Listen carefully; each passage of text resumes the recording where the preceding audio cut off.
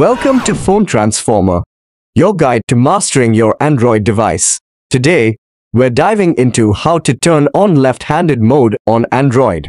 Don't forget to hit that subscribe button to stay updated with our latest tips and tricks. Let's get started with the step-by-step. Step 1.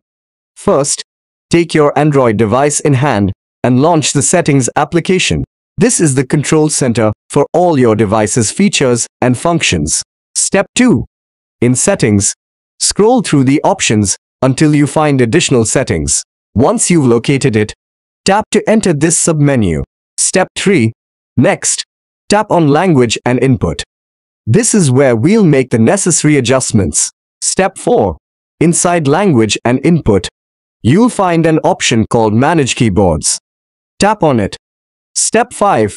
Now, locate the Gboard option and give it a tab.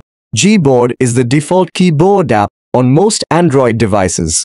Step 6. Within Gboard settings, find Preferences and click on it. This is where the magic happens. Step 7. Next, tap on the one-handed mode option. Step 8. You'll want to see the left-handed mode option on the screen. Step 9. Finally, tap on the left-handed mode option to activate it. And there you have it. You've successfully turned on left-handed mode on your Android device. Thanks for watching and see you in the next video.